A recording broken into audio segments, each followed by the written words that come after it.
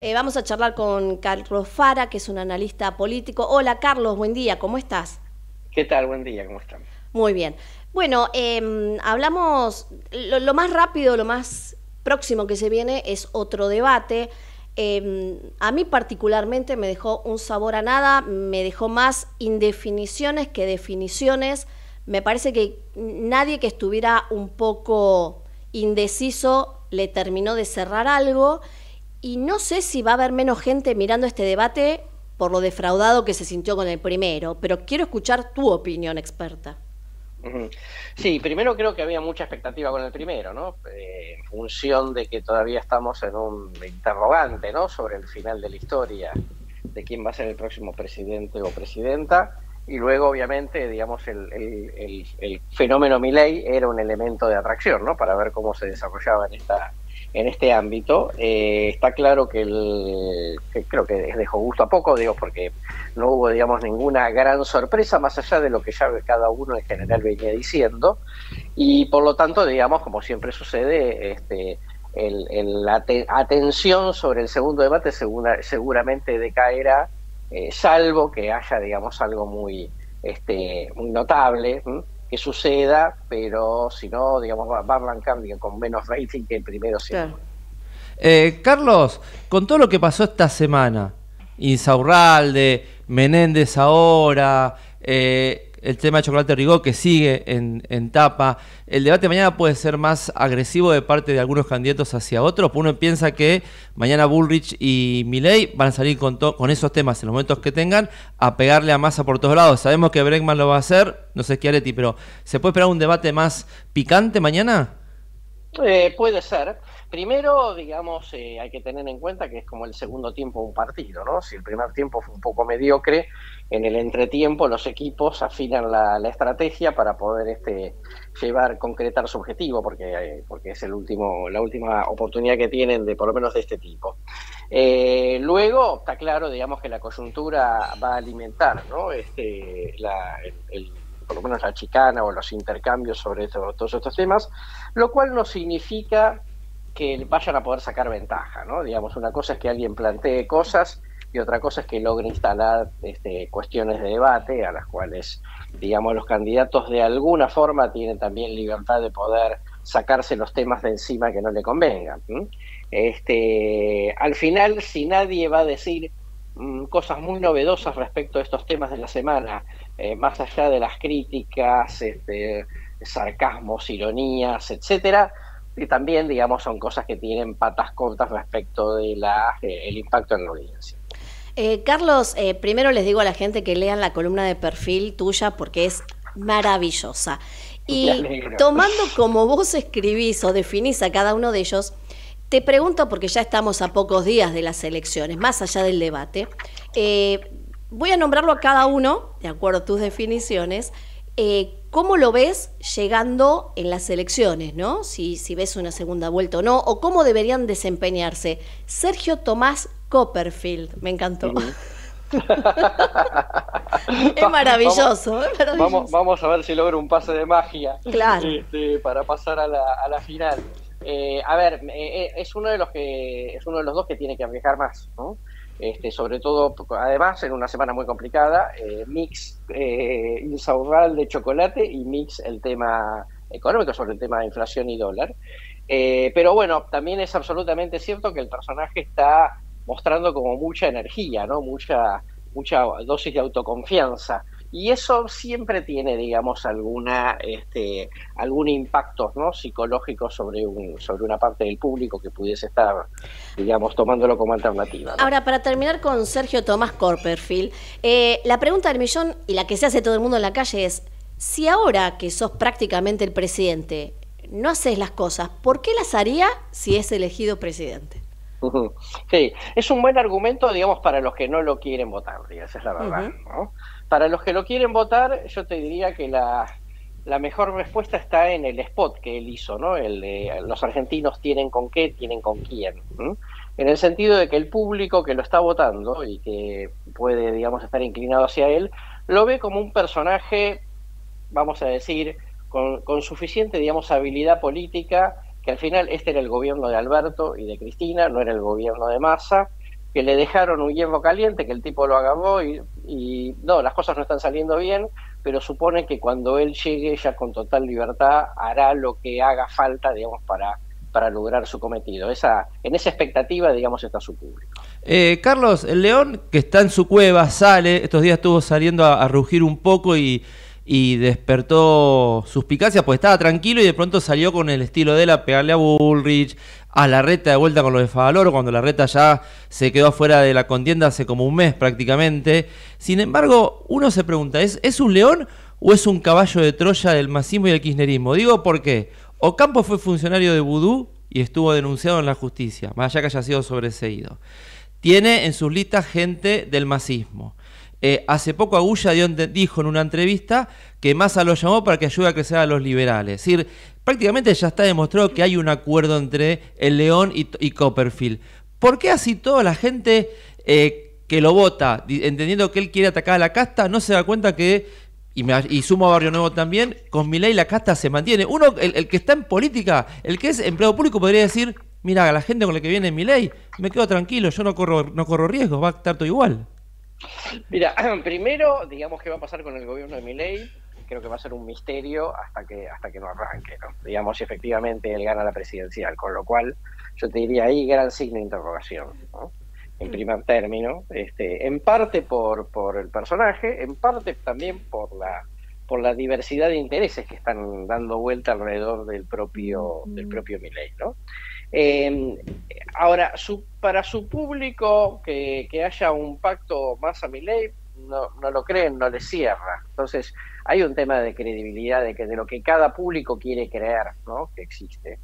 Eh, así como así como tampoco el público de Bullrich cree que hay un, acuerdo entre entre Macri y Milley, ¿no? Digo, cada uno cree lo que lo que quiere y en ese punto, digamos, me parece que lo que genera, en, supongamos en un tercio, un 35% de que eventualmente lo vote a Milley, eh, me parece que lo que está generando es una expectativa, independientemente de todo lo demás, porque para ese público mi ley es una gran apuesta, ¿no? Digamos, ya estuvieron las dos coaliciones, así estamos, y dicen, bueno, pero mira que puede haber un poco de casta, bueno, ¿quién no? Y pero mira que este por ahí no tiene equipo, bueno, pero démosle la oportunidad, digo, me parece cuando la gente quiere creer en un personaje, cualquiera sea, no, no hay mucho argumento en contra, digamos, no hay, no hay evidencia empírica que lo dé vuelta.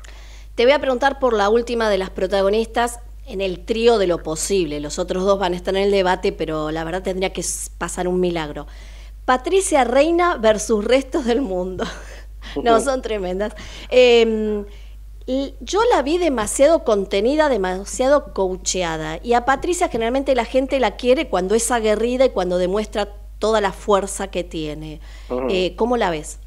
Bueno, primero estuvo con estado gripal, ¿no? La verdad es que eso la, obviamente la complicó, ¿no? Sin duda. Segundo, la oratoria y el debate no es su fuerte, ¿no? Por eso, digamos, amén de la gripe, digamos, tampoco hizo buen, buen rol. Tercero, es verdad que hay un debate interno sobre que está demasiado coacheada como para adecuarla a cierto punto de la demanda, pero ahí hay un problema, ¿no? Digamos, esto es la Patricia espontánea, es más aguerrida y más vehemente, pero lo que pasa es que para Garrido y obviamente ya está mi ley, ¿no? Digamos, entonces hay un problema de definición estratégica ahí, que es, bueno, ¿qué tenía que hacer Patricia después del 13 de agosto? Me parece que eso nunca, nunca terminó de quedar claro. Mm. Y, esas este, inconsistencias estratégicas, digamos, las estamos viendo en estas ocho semanas desde las primarias para acá. Claro, no le queda mucho tiempo ya, ¿no? No, no le queda tiempo y además este, tampoco, tampoco es tan sencillo y por eso, digamos, este, uno se muchos colegas dicen, bueno, si, este, si, si te volviste tan vehemente en la, en la elección de primarias, ¿no pensaste que por ahí te tenías que moderar después en el cara a la elección general? Me mm. parece que Patricia arrancó todo el tiempo pensando que ganaba esa primaria y será la, la próxima presidenta. Y bueno, la situación cambió. Ale. Sí, ¿qué tal? Buenos días, Alejandro. Te habla. ¿Cómo estás, Carlos? ¿Cómo estás? Mi, mi pregunta es, eh, uno entonces, por lo que está diciendo, como, eh, es como que se hubiese, según las pasos, un triple empate y entonces cada, cada sector es una esfera, no hay vasos comunicantes porque cada uno elige crear en su candidato, ¿no? Tal cual como le explicaste recién.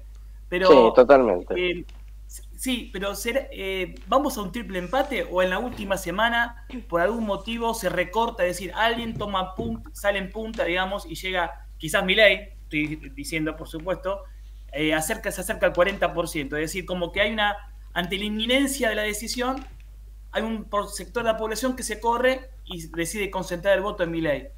Este, porque me cuesta un triple empate, o sea, me parece difícil de creer, o sea, por eso... A ver, primero, eh, yo creo, a ver, eh, aclaremos que, que, pudiese uno entender por un triple empate, ¿no? Digamos, nosotros sistemáticamente después de las pasos lo estamos viendo a Milei primero, a Massa segundo y a Bullrich tercera.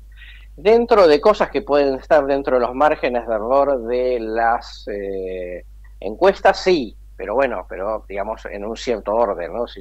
no, no, no, no tan empate como el 30, 28, 27 de la, de la primaria, eso por un lado. Y luego por el otro, eh, ah, bueno, a ver, eh, va a ir a votar más gente. Eh, eso va a alterar las proporciones entre los tres. Como, cada vez que pasamos, digamos, de las pasos a la general, se movieron, digamos, por lo menos siete puntos de voto, con lo cual nada es totalmente descartable, este, eh, porque, porque como la torta se agranda, entonces, digamos, hay muchos pases de hay muchos pases de identificación entre, entre los candidatos. Y desde ese punto de vista yo por ahora digamos no, veo a un, a un Unión por la Patria diluyéndose y tampoco a Juntos por el Cambio. Eso ya te pone, digamos, un determinado techo a, mi ley, aunque más no sea porque mantenés un alto nivel de fragmentación. Eh, pensar en que mi ley, o alguno particularmente, se acerque más a los 40 puntos, eh, hoy parece más difícil, faltan dos semanas, eh, dos semanas muy importantes, pero además de eso, ojo con que 40% es una condición. Vos después además tenés que sacar 10 puntos de ventaja sobre el, sobre el segundo. Entonces digo, todas esas condiciones hoy parecen más raras de cumplirse. Eh, Carlos, el día cuando Macri habló en Harvard y dijo que espera que Juntos por el Cambio acompañe a Milei en algunas en algunos proyectos en el caso de que Milei sea presidente. A mí me llamó la atención ese espera. Macri está vislumbrando, yo entiendo por lo que uno escucha en el Congreso, cuando habla con distintos dirigentes políticos, sabemos que el radicalismo y la coalición no van a ir con Milei, pero da la sensación que tampoco todo el PRO va a ir con Milei. Macri puede estar viendo que no todo el PRO va con Milei y que él tampoco tiene mucho para ofrecerle a Milei si gana, porque si no puede ofrecerle todo el PRO, a Milei Macri no le sirve. No, estoy totalmente de acuerdo contigo. Este, yo creo que él está, está digamos, este, cifrando una expectativa que, que, va a ser difícil, digamos, de cumplir porque va a haber pases de facturas. Si, si, Bullrich no entra al balotaje, va a haber muchos pases de facturas internos. No, digo que la, la, coalición se rompa, pero va a ser muy difícil de, conducir. Con lo cual, me parece que Macri efectivamente va a representar una parte del PRO, quizá la mayoritaria del PRO, pero no va a representar, digamos, mayoritariamente a Juntos, a Juntos por el Cambio. Entonces, desde ese punto de vista, digamos, viste su su lectura de que sus ideas fueron reivindicadas en la elección primaria, yo lo relativizaría bastante. Entonces, si Macri no le puede ofrecer a Milei el 100% del PRO, le dice, mira, tengo el 50, no te puedo ofrecer más porque el resto no quieren hacer nada con vos. Una Cristina que eh, derrotada demuestra que no sirve para estrategias. Puede esta elección, más allá que nos dé a, yo creo que Milei es la síntesis, lo peor de la síntesis de Macri y Cristina. Así todo puede Milei terminar sacando o, llevando su mínima expresión en política a Macri y a Cristina hacia futuro? Bueno, si tiene éxito, sí, ¿no? Porque, digamos, al final, todo el mundo parte de un escenario muy negativo sobre Milei, que es, que es razonable, digamos. no tiene experiencia de gestión, no tiene experiencia de conducción política, no sabemos si tiene todos los cuadros, no, tiene, no va a tener, digamos, control del Congreso, no va a tener gobernadores, en fin. Uno diría es más probable, digamos, que choque la calicita, eso por un lado. Ahora, también es absolutamente cierto que si por alguna razón el personaje logra bajar la inflación, me parece, ojo, porque la opinión pública le va a empezar a dar crédito y eso, digamos, va a significar este, eh, que eh, pueda encarar, digamos, la primera elección legislativa del, del 2025 con alguna yo diría con alguna paciencia social respecto de que, bueno, lo que todos sabemos, los resultados no, son inmediatos, pero si estás en la línea que parece que, que va que vas logrando cosas, entonces tus aciertos se te empiezan a dar este, claramente liderazgo político. Yo diría también que tenemos un problema con las declaraciones de Harvard, ¿no? Cada vez que alguno de los nuestros va a Harvard, sacamos unas declaraciones que no son demasiado felices. Bueno, en fin, eso lo digo yo. Carlos, muchísimas gracias por, por esta entrevista de hoy y insisto, le digo a la gente, lean esta columna en perfil que es buenísima. Te mandamos un beso, buen fin de semana. Igualmente para ustedes. Hasta luego. Hablamos con Carlos Fara, analista político.